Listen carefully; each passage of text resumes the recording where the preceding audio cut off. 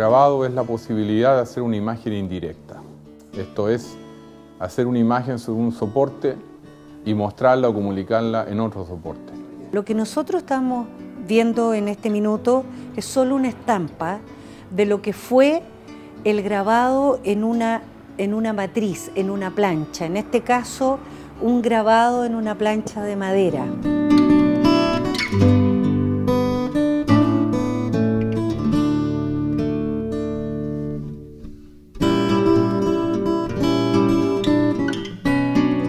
Tanto, el grabado eh, tiene características únicas dentro del concepto de las artes visuales. No hay ninguna otra forma de arte visual que logre los efectos del grabado, ni siquiera parecido, porque al trabajar en una técnica y, al, al, trabajar en una matriz y al imprimir en otro soporte, este trabajo indirecto permite una serie de transformaciones en la imagen o de definiciones en la imagen que se pueden controlar y se pueden manejar.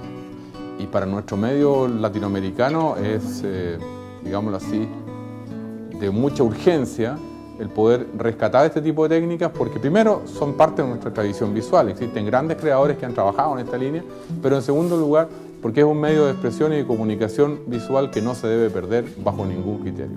El Fondo de Arte surge por una donación inicial de 6.000 obras del eh, gran artista grabador porteño eh, Carlos Hermosilla Álvarez. Evidentemente estamos hablando de un fondo trascendente, eso es lo primero que hay que considerar, es un fondo valioso, eh, va a constituir en la historia del grabado en Chile y específicamente en la región de Valparaíso un hito que no puede dejar de considerarse y conocerse por los investigadores, por el público en general, por los artistas, eh, en relación a lo que ha sido la trayectoria de una técnica tan arraigada en la región de Valparaíso como es el grabado.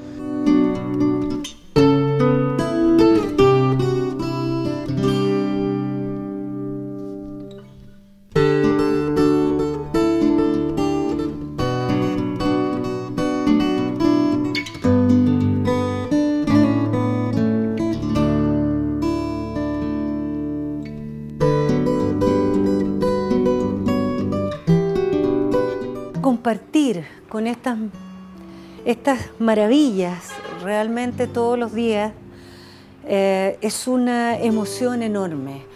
Yo creo que esto gatilla la sensibilidad de cualquier persona.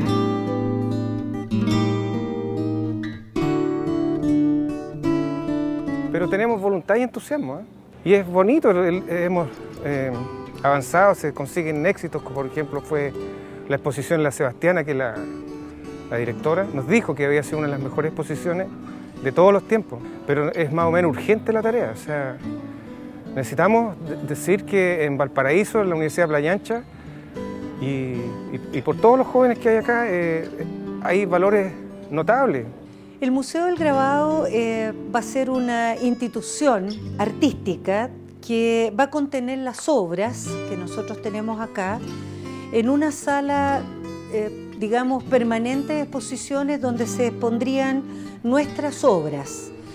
Eh, y una sala itinerante donde podemos invitar artistas latinoamericanos eh, con los cuales estamos conformando redes para que expongan también sus obras. En ese sentido, un museo no es solo un depósito de cadáveres, un lugar donde se colocan las cosas que ya fueron y que ya murieron, sino que es una especie de reflexión constante, es un ámbito de diálogo entre lo que se ha hecho y lo que se podría hacer. Y en ese diálogo es donde se crea la dinámica del futuro, en ese diálogo es donde los pueblos encuentran su autoconciencia dialéctica.